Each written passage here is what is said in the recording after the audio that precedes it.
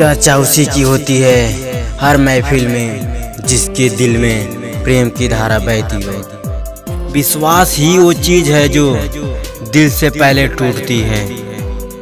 इंसान की चाहत है कि उड़ने को पैर मिले और परिंदी की सोच है कि रहने को घर मिले। मीठे लोगों से मिलकर जाना कि कड़वे लोग अक्सर सच बोलते हैं।